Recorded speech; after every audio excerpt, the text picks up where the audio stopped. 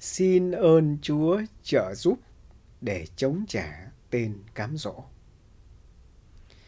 Bước vào mùa chay thánh, mùa tập luyện chiến đấu thiêng liêng với những việc tốt lành theo truyền thống là ăn chay, cầu nguyện và bố thí. Thưa anh chị em, hôm nay Chúa Nhật thứ nhất mùa chay thánh.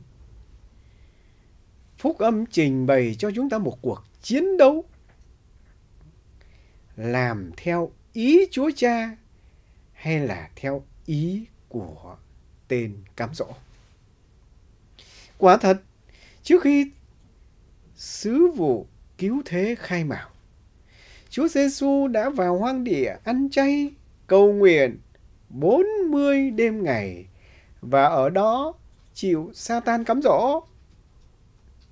Satan ấy, lợi dụng thời gian này để tấn công và cám dỗ Chúa Giêsu đi khác đường lối của Chúa Cha. Đây cũng là cám dỗ bất tuân giống như con rắn xưa đã cám dỗ Adam. Satan ấy, muốn Chúa Giêsu là một con người hoàn toàn thuộc về thế gian. Thế giới mà hắn làm chủ. Vì là con người, Chúa Giêsu đã dựa vào lời Chúa và sức mạnh của Thiên Chúa và Chúa Thánh Thần để chiến đấu. Người đã chiến thắng, ma quỷ đã phải rút lui và các thiên thần đến hầu hạ người. Bước vào mùa chay thánh, chúng ta phải ý thức rằng những quỷ kế mà ma quỷ dùng ấy để cám dỗ Chúa Giêsu cũng là những cách chúng cám dỗ chúng ta ngày hôm nay. Satan ấy là kẻ thù lớn nhất của chúng ta. Có người không tin có Satan. Họ cho rằng ấy, Satan là một sản phẩm do trí tưởng tượng của con người hoặc là sự giữ chiêu tượng phá trộn trong con người và thế giới. Không. Kinh Thánh nói nhiều lần về Satan như một hữu thể cụ thể và có thực. Hắn là một thiên thần sa ngã. Chúa Giêsu khẳng định khi nói, hắn là kẻ nói dối và là cha của sự dối trá.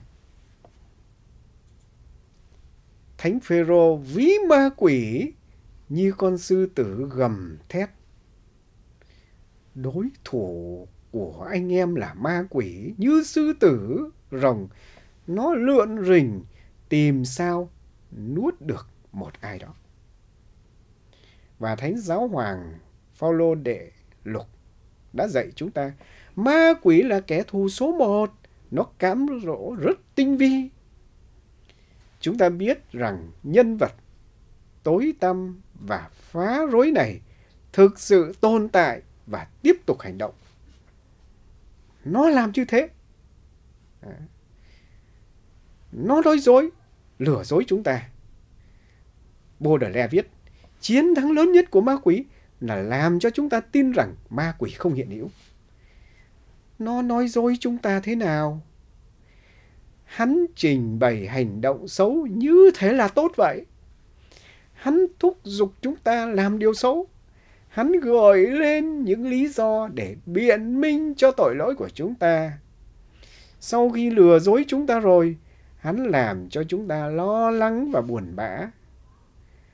Hỏi chúng ta có bao giờ cảm thấy điều đó không?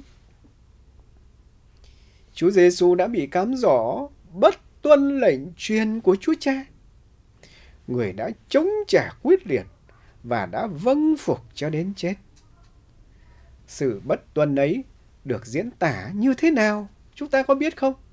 Và nội dung của sự cám dỗ ấy là gì? Chúa Giêsu là con người hoàn toàn giống như chúng ta. Giống chúng ta mọi đảng, ngoại trừ tội lỗi. Nên những thử thách mà người phải đương đầu ấy, những cám dỗ người phải chịu ấy cũng là những thử thách những cám dỗ của nhân loại hôm nay. Cám dỗ ấy là cám dỗ về vật chất tư lợi, uy quyền danh vọng và về hưởng thụ thỏa mãn các đam mê trần thế. Của cái vật chất là một cám dỗ lớn. mãnh liệt không trừ một ai từ em bé mới có trí khôn cho đến người già sắp lìa cõi thế. Từ người buôn bán giữa chợ cho đến vị bậc vị vọng ở nơi nhà thờ. Tự bản chất, vật chất không xấu. Xã hội phải làm ra của cải thì mới tồn tại và phát triển được. Con người phải có điều kiện, vật chất tối thiểu mới có thể sống được. Nhưng tiền tài của cải là một người đầy tớ tốt và là một ông chủ xấu.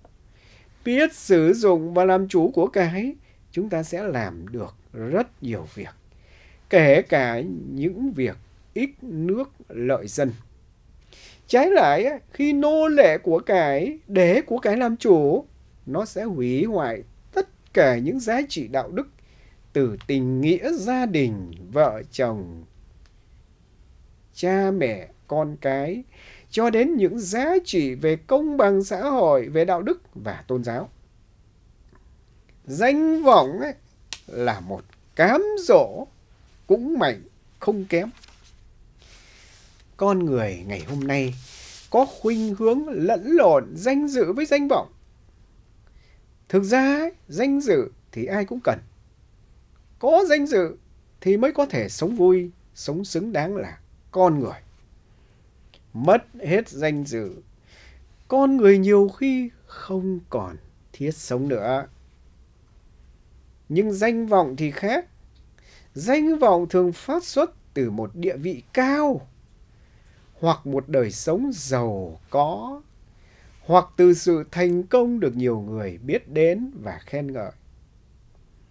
Người ham mê danh vọng là người thích được người khác vỗ tay để cao, thích được nổi bật giữa đám đông. Có người ham mê danh vọng đến mức sẵn sàng hy sinh hạnh phúc gia đình, hy sinh cả những giá trị đạo đức, chạy theo danh vọng, nhiều khi là thả mồi, bắt bóng và dẫn tới những sụp đổ bi đát nhất. Cám dỗ thứ ba ấy là quyền lực. Ở bất cứ quốc gia nào, thời đại nào, cám dỗ về quyền lực vẫn là một cám dỗ đáng sợ nhất. Thường khi đã có tiền và danh vọng, điều mà người ta ao ước là có quyền trên những người khác, điều khiển người khác.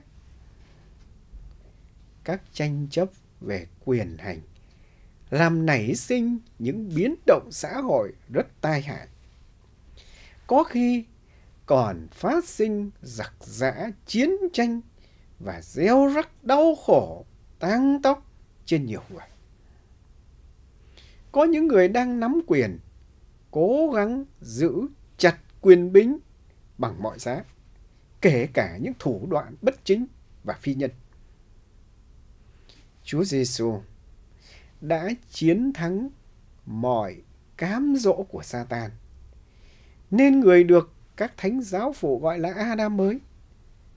Sinh ra một nhân loại mới, sống bằng sự sống và tình yêu của Thiên Chúa Cha, thánh ý Chúa Cha. Người đã từng nói lương thực nuôi sống tẩy là thánh ý Chúa Cha. Chúng ta hãy Nhớ mình là con người mới, được tái sinh nhờ phép rửa, được kêu gọi sống ơn gọi đó.